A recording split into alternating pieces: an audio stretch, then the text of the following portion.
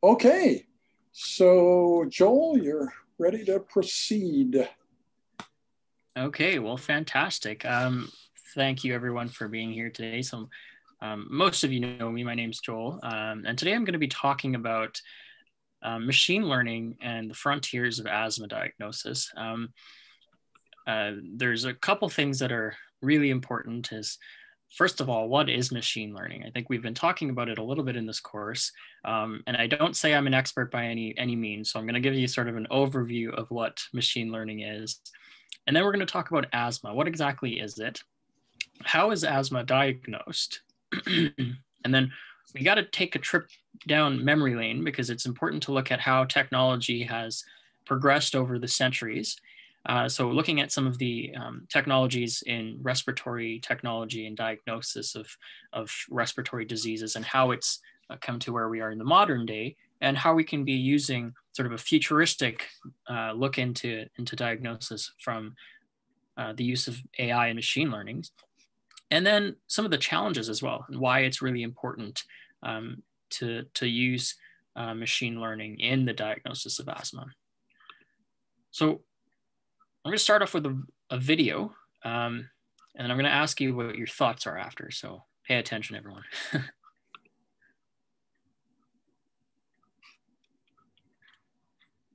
asked about machine learning, and we have a watermelon here. You know, you used to uh, go to the store, pick up a watermelon. Uh, maybe your family told you you push on the end to see if it's soft, and that means it's a good watermelon, or if it smells a certain way. That's how you tell if it's a good watermelon. Well, with machine learning, you don't do any of that. You basically try to determine all of the attributes about this watermelon that you can, and you take those attributes and you feed them into a baby machine model that knows nothing how fat the stripes are, how thin they are. And, and you, you feed all these attributes into that model. You go home, you eat the watermelon. You come back in the next day, and you tell that model, that was a good watermelon. And it remembers all of those attributes and the fact that it was good. And you're going to do that every day for the next 10 years. After 10 years, that model is going to be able to tell you, based on attributes that you give it, if the watermelon you picked up is good or bad. And you may not know why, that that model is telling you it's good or bad. Um, but you can trust that it has done enough analysis and it can tell you a percentage, a surety of whether it's good or bad. That when you pick up the watermelon, give it the attributes. If it says it's good, you can take it home and it will be good. Okay, so that's uh, that's the watermelon guy, and I wanna I wanna open up, but just shout out what you think was sort of the main takeaway from that video. What did you what did you get out of that? Well, certainly that you would be feeding your computer all these data that you observe in the watermelon, and then the I think the outcome that has the greatest value is whether you decide it, if it was good or bad, right? And then based on many, many, many of those analyses, that will learn the machine, your computer will learn and it will, it will uh, ask you for the input in the future. You put it and then it will tell you it's good or bad, right? So as you mentioned before in, in my session, it has to do with the probability, right? How much times it will be good or bad. I don't know. Yeah, Eduardo, you you hit the nail on the head. It's it's it's all about feeding all of the attributes into the model. So it's all about how much data there is and the quality of the of the data that is present. And actually, Eduardo, you you talked about this a little bit in your presentation on on Tuesday. Um, but the, the the bottom line is the more data that the computer receives, um, it's able to make more of a finely tuned decision. So, for example, to uh, Taryn, you have a you have a great um, you the dogs and the cats in the background there.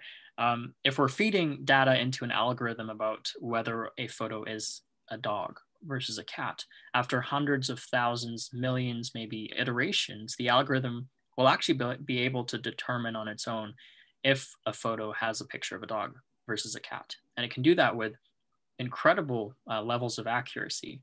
So if this doesn't excite you, I'm not sure what will because it really excites me. There's so many applications for this. Um, and, and today we're going to focus on some of the applications in the medical field and specifically asthma diagnosis. So I want to talk about, oh yeah, before I go into asthma diagnosis, remember this guy. This is the watermelon guy. I promise it'll make sense. It'll all come back and we'll switch gears. And um, I kind of made him into a meme, so he'll show up in, in the rest of the presentation. But what is asthma? Well, first off, does anyone have asthma here?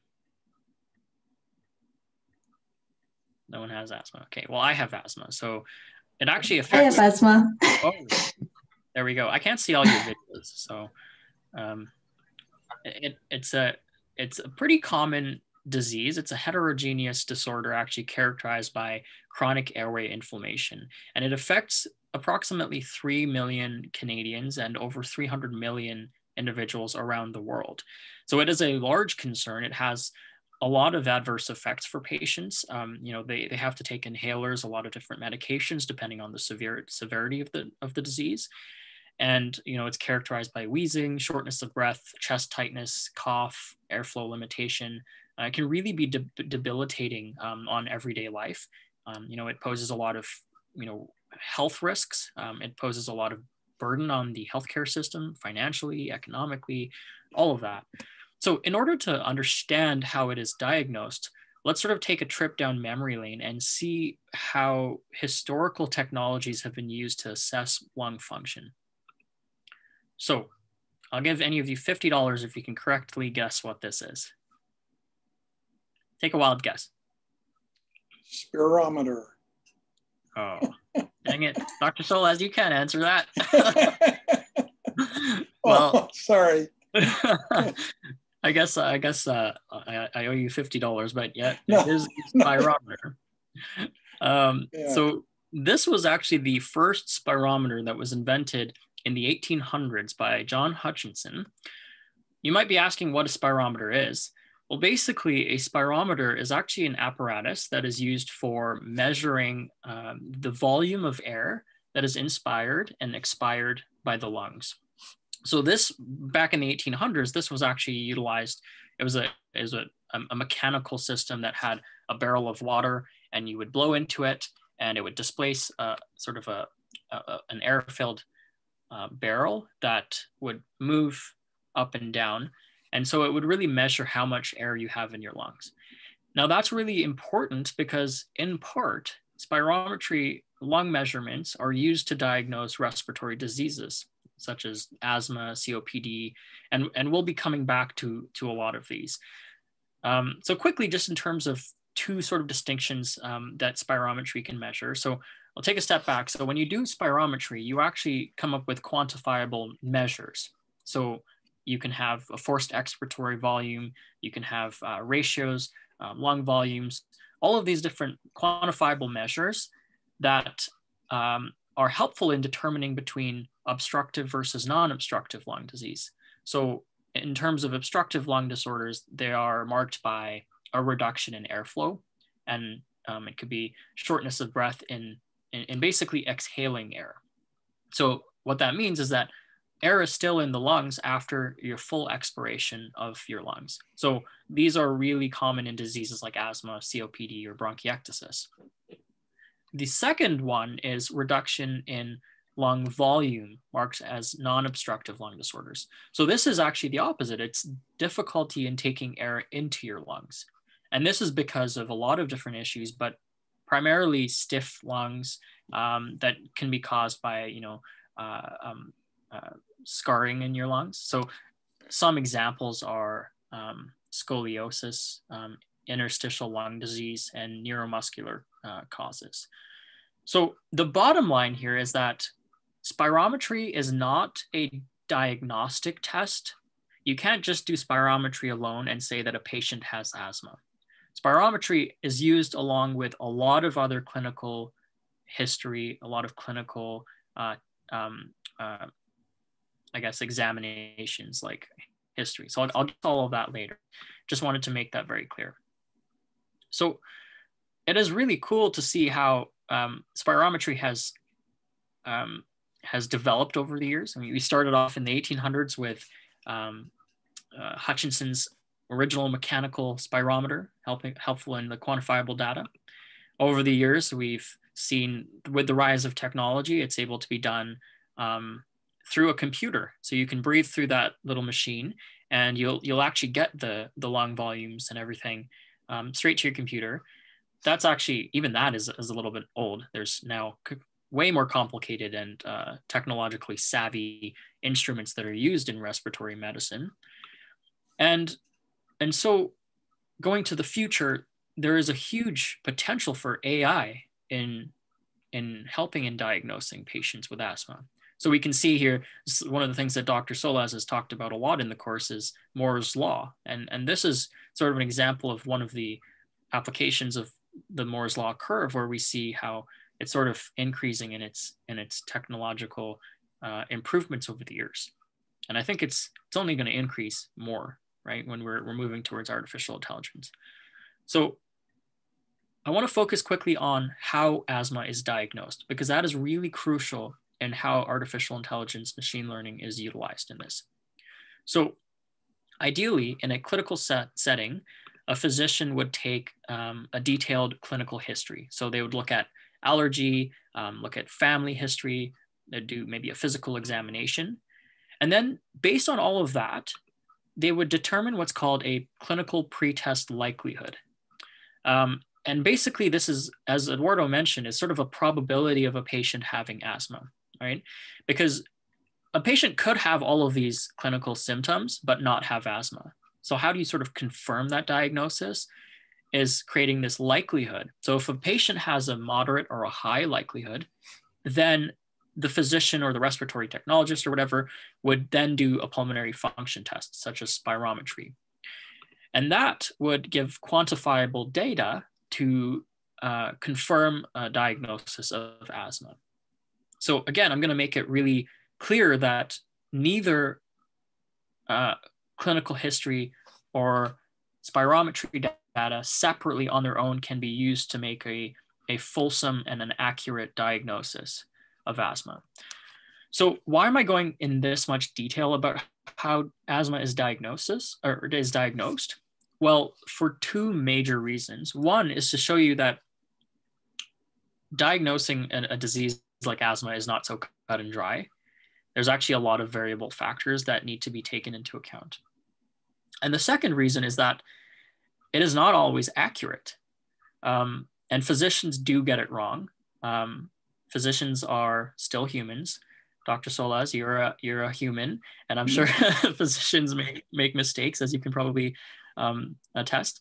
Um, but what is the use potentially of, of AI to increase the accuracy of that?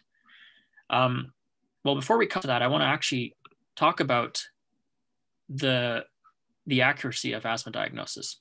It's actually a larger problem than you might actually think. So when we're talking about asthma diagnosis, there's a lot of research that has been done over the past few years that show that one in three physician diagnosed asthma patients actually don't have asthma. And this isn't just one paper, this is many papers published in top tier journals like um, the Canadian Medical Association Journal or um, the Journal of American Medical Association or the European Respiratory Journal. So there's a lot of evidence that shows that one in three patients who have asthma diagnosed by a physician doesn't actually have asthma. So, why is there so much overdiagnosis of asthma? Well, that is a great question. I'm not a physician and I actually don't know. There's probably a lot of different factors involved. And it, this is actually being studied very uh, extensively.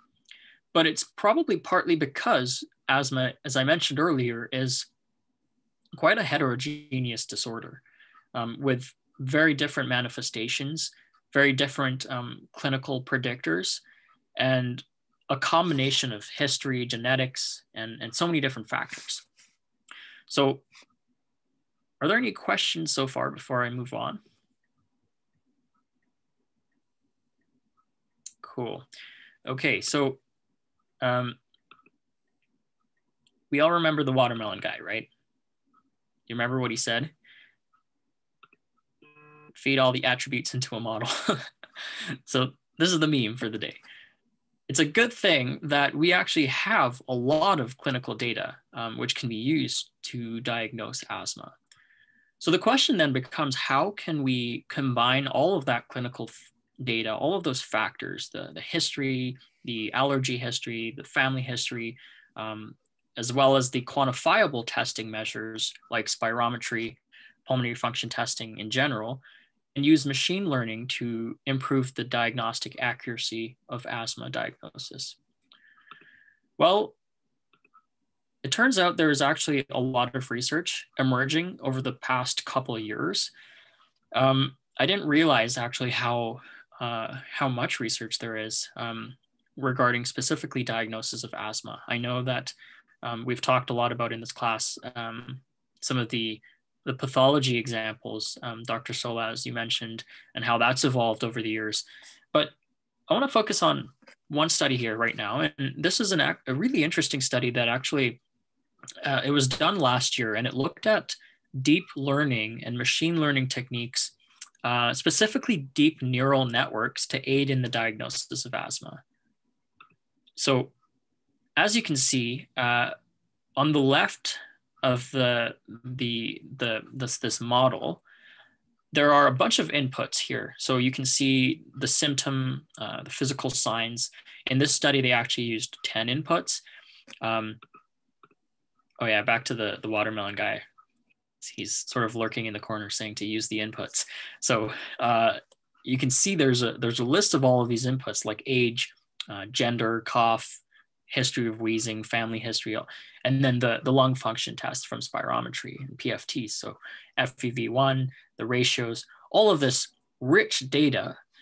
And, and so what happens is all of this information is inputted into this complex algorithm where there's a lot of modeling and there's a lot of math and statistics.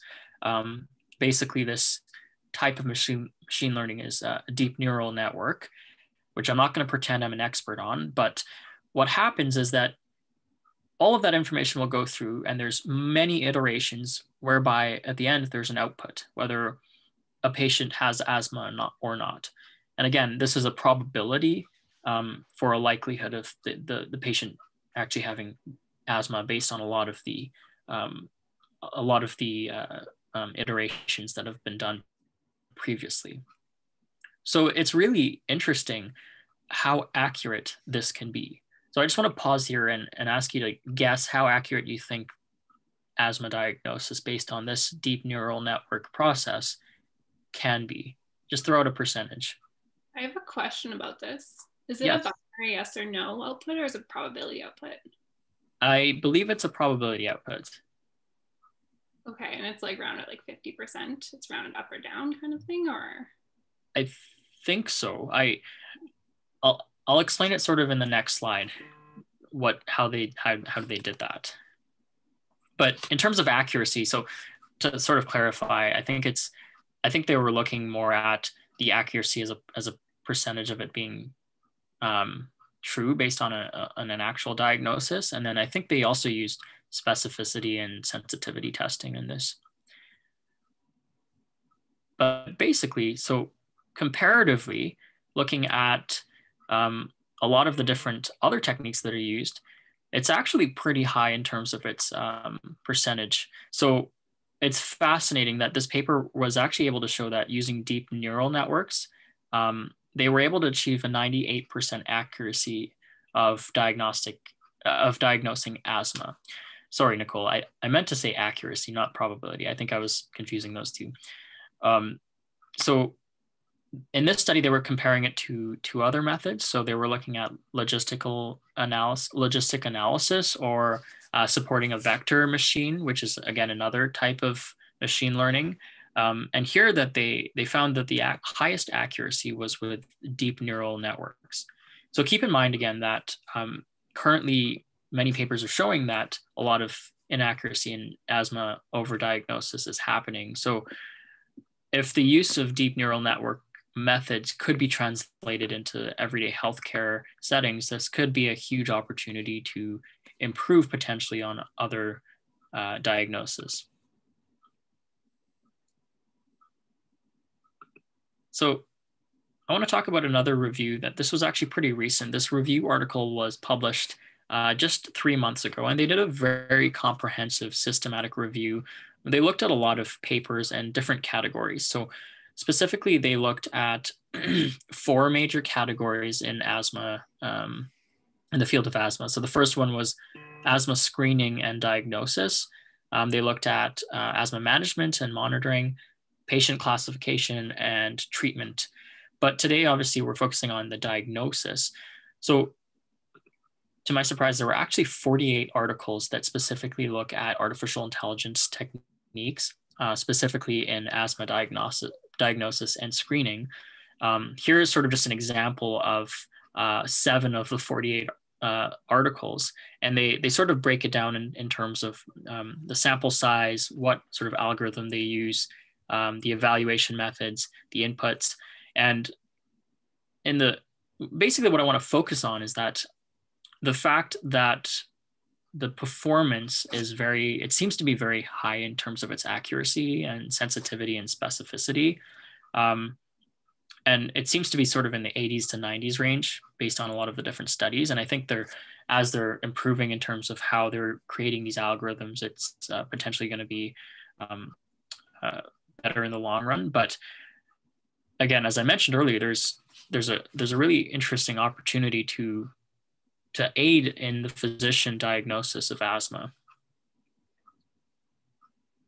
So what does this sort of mean for the future? Well there's so much data that um, and the impacts of just looking at these examples uh, just in asthma are endless but it's not only for asthma diagnosis. There's um, but also within the healthcare system as a whole um, there are so many different applications um, there's so much data that currently based on a lot of um, computer scientists that are saying that the data that is being used right now is barely being scraped at the surface. There's so much more depth and richness in the data that needs to be mined through a lot of artificial intelligence uh, methods. So the approach of the sort of the technological singularity that we've been talking about for quite a while can actually be used uh, for so much good, as we can see in this next video. intelligence, intelligence to build a system that's always watching. We call it PALM, Patient-Centered Analytic Learning Machine. Our vision is to present PALM as the nervous system of this institution.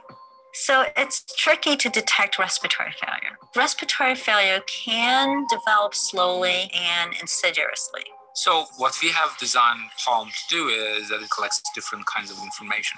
Someone's heart rate, their blood pressure, their oxygen saturation, changes in their physiologic vital signs on a second by second or minute by minute basis has implications for where they are going. Palm's job is to calculate the risk for the patients to have either respiratory failure or whether or not this patient is at risk of dying there is an overwhelming amount of data that we have to deal with in healthcare. The only way we're going to be able to analyze it is through the use of machines. So we have found a lot of reasons to work with Intel because they want to not only imagine the future, but also shape the future of healthcare. We are not only using their engineering powers today, we are also using the cluster of servers as underpinning a lower technology it's also having a partner to imagine what is possible in the future. Our algorithm outperforms any similar model that exists. Not only we ended up with an algorithm that can uh, predict respiratory failure, but also it can predict sepsis. We have data that shows that it has decreased the length of stay overall, as well as within the ICU. We see it as the future of healthcare. So again, this is really exciting because it seems to me that the possibilities are endless and there's so much more potential for collaboration between the clinical world and the computing science world. Um, that was actually one of the conclusions from that huge systematic review um, that computer scientists and clinicians can actually work more together in research and that there is a future um, there, there's a lot of future research needed um, not only just in asthma diagnosis, but also for management, for treatment regimes, um, and also looking at it from the lens of preventative medicine. And the, the systematic review here really is expounding on this fact that AI can be a strong tool and you know, we've talked a lot about how there's different approaches to AI and the technological singularity. Some catastrophizing it, saying that it could be the end of human civilization, and others saying that we can use this for our benefit. And I think that this can be for our benefit if we if we do things right. I think it's clear that medicine and technology must be used together, and it's really important for I think for physicians um, and healthcare workers alike to utilize AI technology to better their processes and effectiveness. Um, AI also has the potential to really make our healthcare system more economically efficient and um, looking at less expenditures, less expenses, um, less paperwork. I think one of the things I hear from a lot of physicians is the endless paperwork that they have to do and the administrative duties. Um, but it can also act as sort of like a medical watchdog to look out for errors in diagnosis that um, that happen. It's it's only it, it happens all the time. Um, there's also a lot of medical errors that can potentially kill patients. I think some stats show that there annually are an estimated 200,000 people that are killed because of medical errors, and it costs uh, costs the healthcare system around 1.9 billion dollars annually. So it is a large problem to tackle, and and AI is more than just a proper diagnosis, but it can affect the healthcare in so many different ways. So this this guy, um, Dave, Dr. David Bates, uh, really sums it up well in saying that it's clear that clinicians don't make as good decisions as they could. If they had support to make decision uh, better decisions, they could do a better job. So I think we can look at it as sort of a, um, a complementary relationship instead of an adversarial relationship. And finally, I'll, I'll end off with saying that I don't think that there's anything like a human being. I think the human being is irreplaceable. That human touch is really important. People want a human to human contact. So instead of replacing the physicians, the healthcare workers, by technology, we can shift our thinking to see how technology can assist um, assist them, ensuring that the healthcare system is more uh, um, efficient, more cost effective, has the most appropriate and accurate diagnosis of, of diseases, and serves as sort of a second eye, uh, a supercomputer eye that can confirm or point out errors that are, are taking place.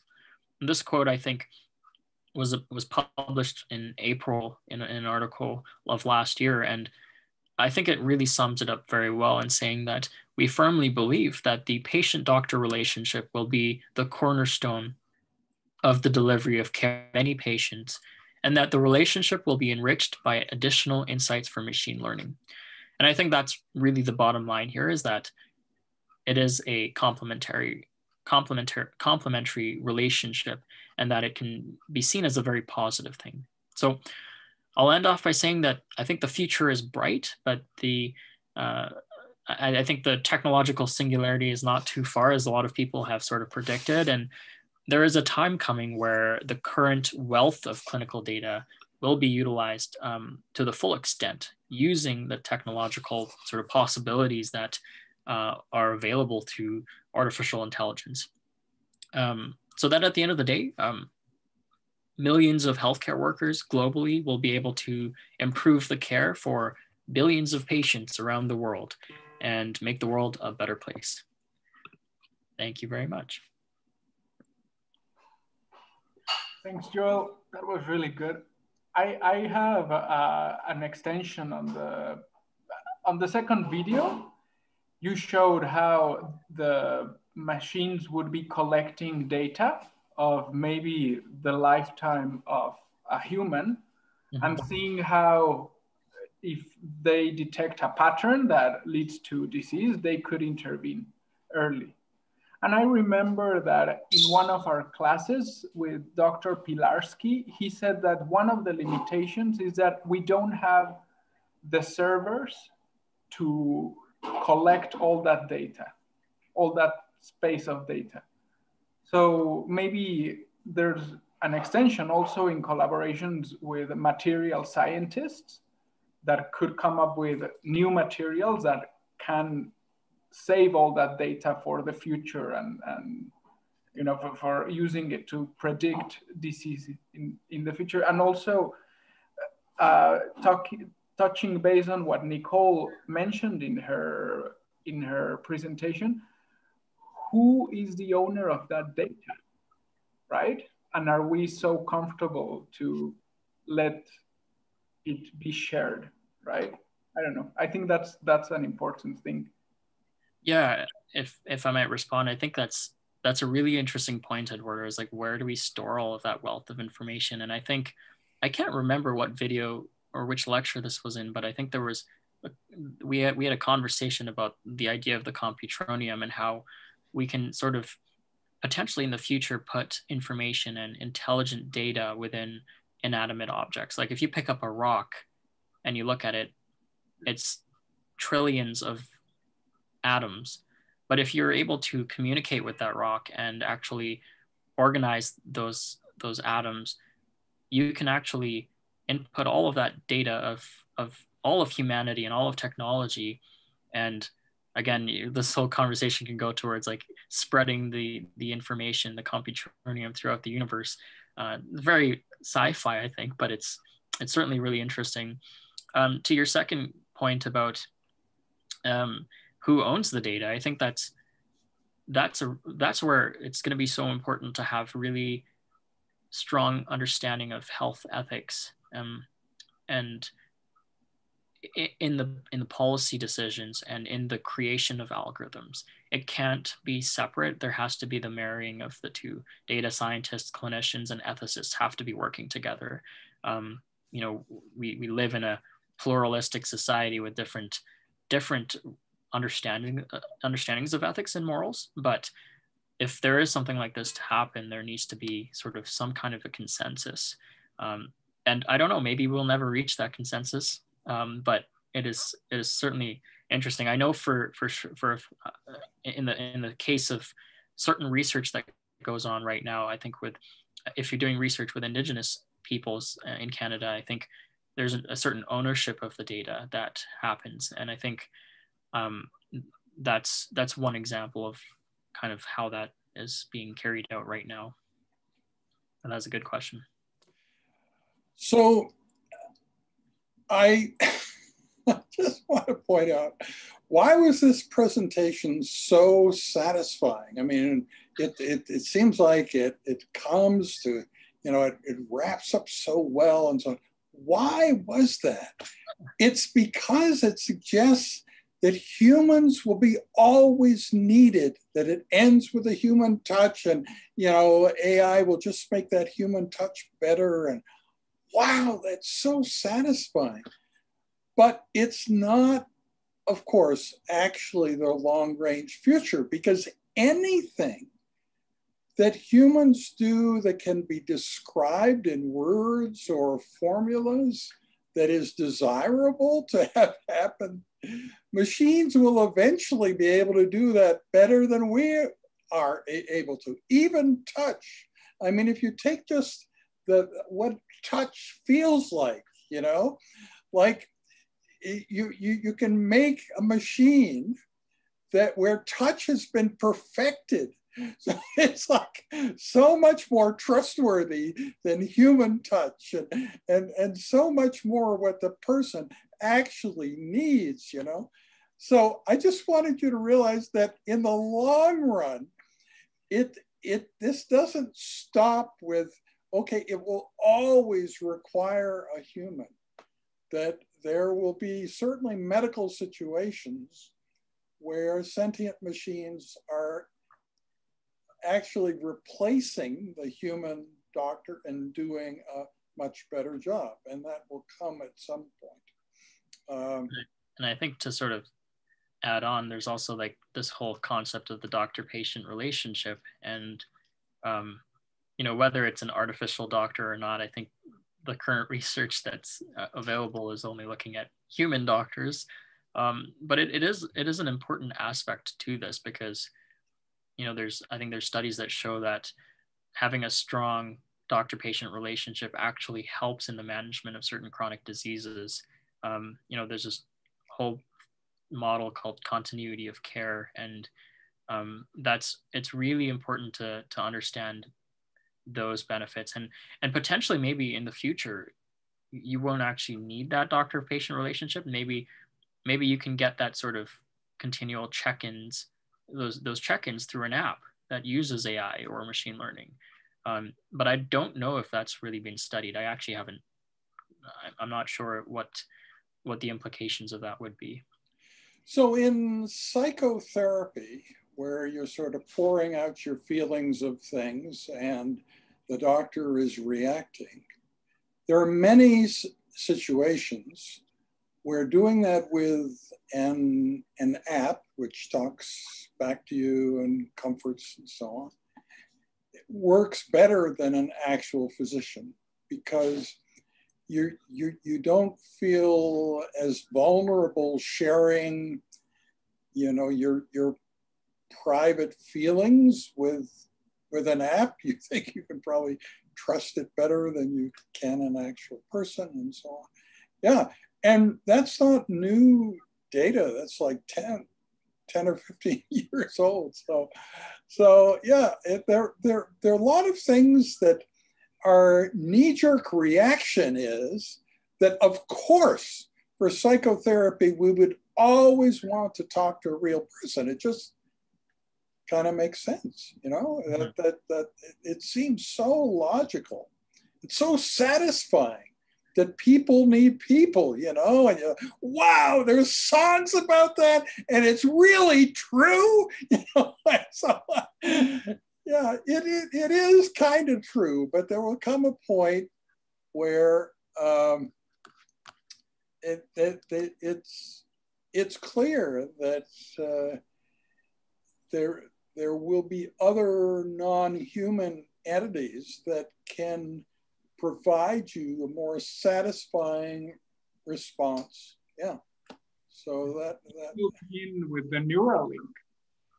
Yeah, yeah, yeah, certainly. Yeah, that's that's one way in which that might happen.